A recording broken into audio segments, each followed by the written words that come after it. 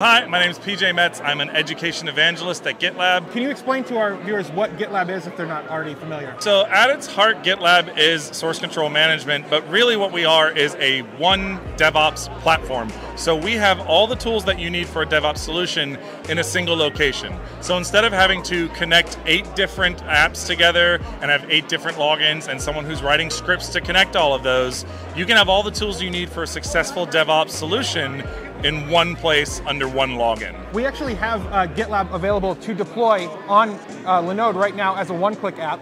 Uh, if you haven't already, you can sign up with the link below to get $100 in free credit. And uh, thank you for your time, PJ. I really appreciate Absolutely, it. Absolutely, yeah. Thanks. Linode's a great service. I use it to host my Twitter bot, and I really love it. So it's a fantastic partnership. Yeah. Oh, check out his video. He has a video on our channel. That's right. Build a Twitter bot in Node. Yeah. Don't forget to hit subscribe to stay up to date with all the cool stuff we're doing here on the channel, and we'll see you next time.